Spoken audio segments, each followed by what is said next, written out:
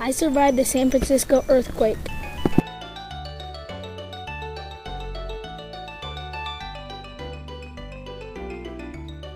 Leo has this gold nugget that's been in his family for centuries.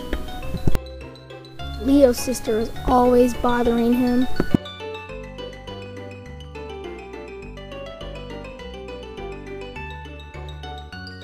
But when an earthquake hits, bricks fall on Leo's sister.